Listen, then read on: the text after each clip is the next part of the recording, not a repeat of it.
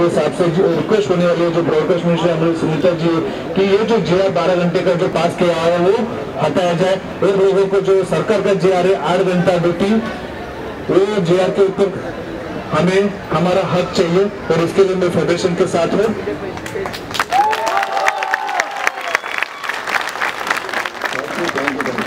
तो आप लोग समझ सकते हैं कि फेडरेशन के साथ कितने लोग जुड़े हुए हैं। सब हमारे साथ जुड़े हुए हैं। लेकिन फिर भी वहाँ बैठे बैठे प्रोड्यूसर बोल कि ये भाड़े के लोग हैं, ये झूठ बोल रहे हैं, इनके साथ कोई नहीं है, इनको कोई सपोर्ट नहीं कर रहा है। जो वैनिटी